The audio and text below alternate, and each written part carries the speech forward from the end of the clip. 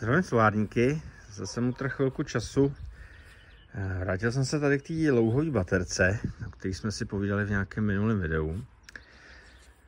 Je teda zatím jenom z devíti článků, jo, protože desátý má půjčený ten kamarád, to už jsem zmiňoval. Nicméně, já jsem chtěl vám ukázat, jak ta baterka na tom teď je. Jo, vlastně v tom minulém videu jsem ji nechal, jestli byla dvě hodiny, připojená, možná ani ne, na těch eh, panelech, jo, na dvou kouscích. Já jsem, jsem zase teď připravil, budu pokračovat s tou baterkou. No a chtěl jsem vám ukázat, jak uh, ta baterka na tom teda je, jo, teďkon. Takže víte minule, co tam byly ty články, jo, myslím, že tenhle ten byl úplně mrtvej, tyhle měly nějakých 0,3 a tyhle ostatní byly taky, jo, někde. Dohromady to mělo asi 2 V, jestli si vzpomínám, 1,9 V, jo, celý ten set. Takže když teď se koukneme, byla fakt dvě hodinky na té nabíječce a teď už tady já nevím, čtvrtý den, třetí den, stojí čtvrtý, myslím, že čtvrtý den.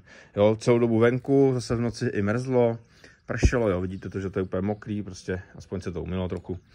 Takže vůbec nic jim nevadí a koukneme se teda konečně, píchnu první,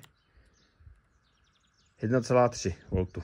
To zkusím dát na míň ještě, já to ukážu nějak přesněji. Tak 1,34. Vemte si, že nominální napětí této baterky je 1,2 V. Jo, a tato ta je teda z roku asi 2012 zrovna.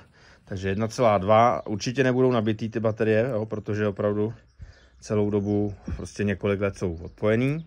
Jdeme na další. Nějakých jedna.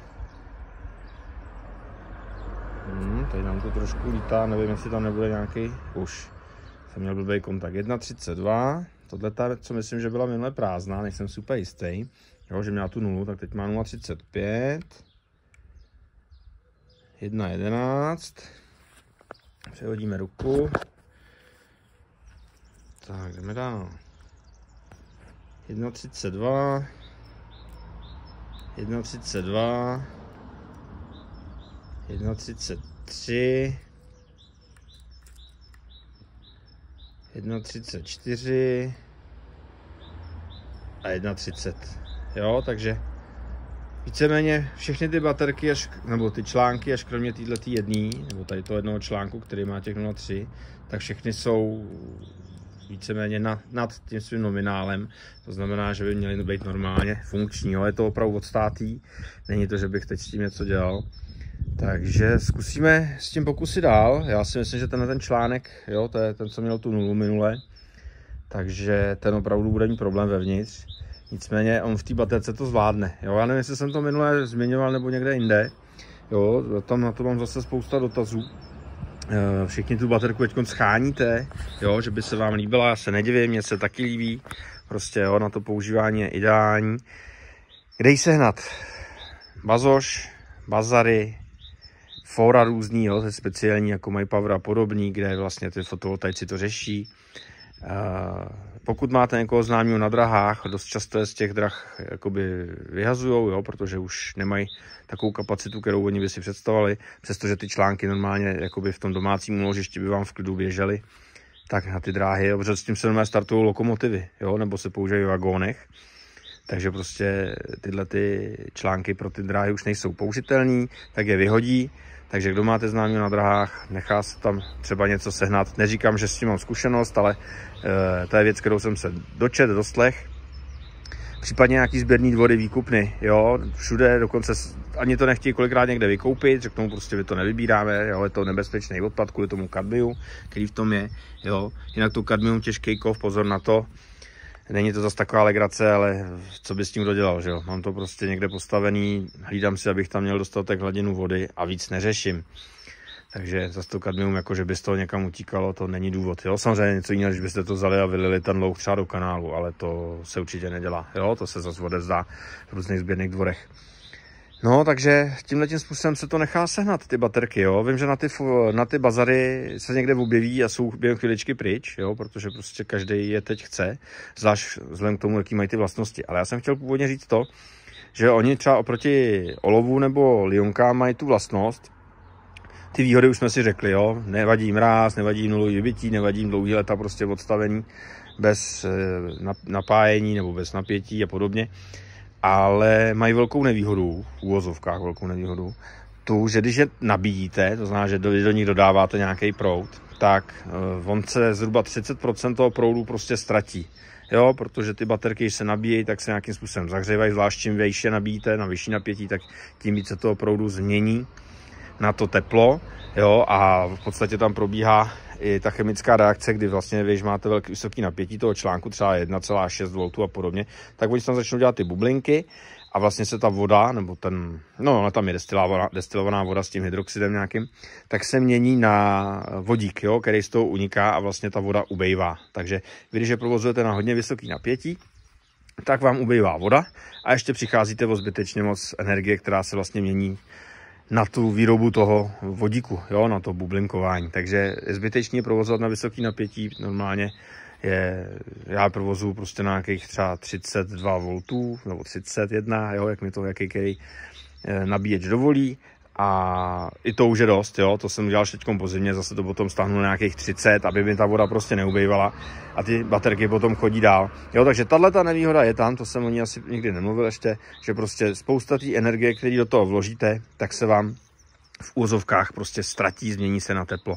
Není nic našího, než prostě přidat jeden panel, abyste tam ty energie dostali víc. Jo, furt si myslím, že cena jednoho panelu mnohonásobně převýší ten nedostatek, jo, že je to prostě malá investice, abyste tu baterky mohli provozovat. Nic, já jdu teda něco zapojit a budeme si ještě něco ukazovat. Teda zapojeno, já jsem tam dneska tři panelky, vzal jsem jiný regulátor, jo, takže baterky teď už se nám dobíjí. To zase na bastlení na rychlovku, protože toho času opravdu nemám na zbyt. Jo, používal jsem tenhle ten regulátor, který zvládá těch 150 V. Tady je vidět, že panely nám dávají nějakých 85 V. Baterka už má 12,9 a tečou tam necelý 4 ampéry. Za nějakých, já nevím, plácnu 40, 40 W. Žádná paráda, ale vzhledem k tomu, co tady zase na tom nebi je, můžu být rád, že aspoň neprší. No a teď jdu vymyslet, co bych vám tam k tomu připojil přemýšlím, jestli otestuju ten, ten měnič, anebo spíš tam zkusíme ty UPS, aby jsme viděli, jestli vůbec funguje. Chtěl jsem vám teda ukázat ty UPS, ale nenašel jsem k ní kabel, ještě budu muset pohledat, vím, že jsem ho někde měl. Takže zatím jsem teda připojil zase tady toho fešáka, to jsme na něj koukali už minule. Teď už teda vím, že to i na tom videu bliká, takže teď to ukazuje nějakých 12,4 V, 225 V AC. Jo, tady tenhle ten Žák nám ukázal něco jiného. Bohužel počasí je proti mně, jo. Už se začíná pršet, už je to mokrý. Prostě ne, prostě já vám nic nenatočím pořádného. Jo, samozřejmě ten výkon taky je úplně někde pryč, jo, abych vám tam mohl pustit nějaký pořádný, nějaký pořádný spotřebič, takže jsem přines tady lampičku. Jo, v podstatě dneska bych vám chtěl teda ukázat, že tyhle ty baterky fungují, jo. Původně to mělo být o něčem jiným, ale budeš to teda o baterkách že přestože opravdu několik let nebyly tyhle ty vůbec provozu, tak to fungují. Jo, vidíte, že z devíti článků se úplně v klidu poskládá baterka, kterou tenhle ten měnič zvládne. Píchneme to tam, to je lampička a svítíme ku podivu.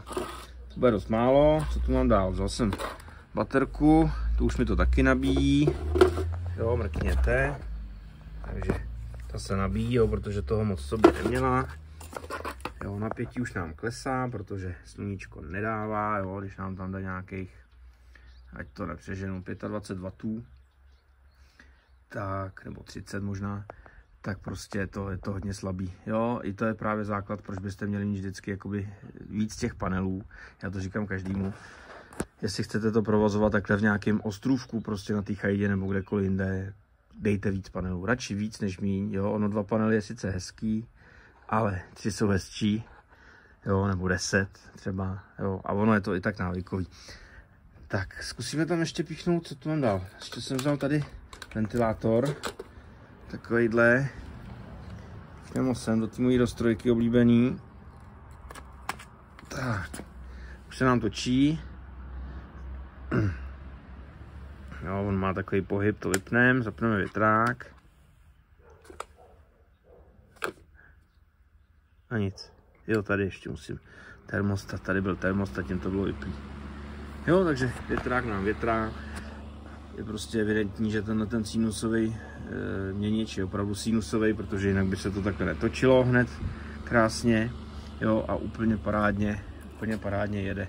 Jo, zkusíme, co udělá, když zapnu zátěž, ale ono tam je té 800 W, to asi nezapnu. Toho úplně utavím, to půjde hned dolů. No. Viděli jste to, dokonce se vypnul. Úplně, jo, když jsem zapnul tady 800 W zátěž, tak se, tak se vyp, protože to napětí podle mě kleslo. Jo, zkusíme ho zapnout znova. Jo, už zase naběh, jo, už zase svítíme, nabíjíme. Ale ty baterky jsou vybitý, že jo, protože samozřejmě tamhle s tím, s tím napětím, co do toho, nebo s tím proudem, co do toho teď jde, tak to se budou nabíjet zase opravdu hodně dlouhou dobu. Uvidíme, já to tu nechám takhle zapojený, snad nezačne pršet, když tak to přikryju něčím. A když by se to zlepšilo třeba odpoledne nebo k večeru, že by ještě to sluníčko nám vylezlo, tak bych ještě něco zkusil k tomu dotočit. Tak bohužel, počasí je zcela proti nám, začalo se cedit. Jo, koukněte, už mi tady na všechno prší. Já jsem vám jenom narychlo ukázat, jo, teď jsem to tu nechal tlačit, já nevím, zase hodinku asi. Jo, napětí se nám zvedlo. To tady teď zkusím nějak nasimulovat, aby jsme si ukázali aspoň, kolik to teď má. Jo, takže to nechce. Už. Takže nějakých 13,3 V. Jo, to bylo za 13,5, tlačí to tam teď nějakých 5 A. Jo, zkusíme ještě tak ty články ještě samostatně. Takže první, jedna, dva, což je teda dost zvláštní. Aha, já to přepnu zase. Takže jeden a půl téměř. Jeden a půl rovných, to je ten špatný článek, ten nám rychle vyběh, ale zase půjde rychle určitě dolů. 1,44. Tam zase přehodit ruku. A dneska to je opravdu zase den. Provoz jako blázen, zima, déšť, prostě, vidíte sami. Tom na tom se nedá, nedá pracovat. Jo, a já se tak snažím.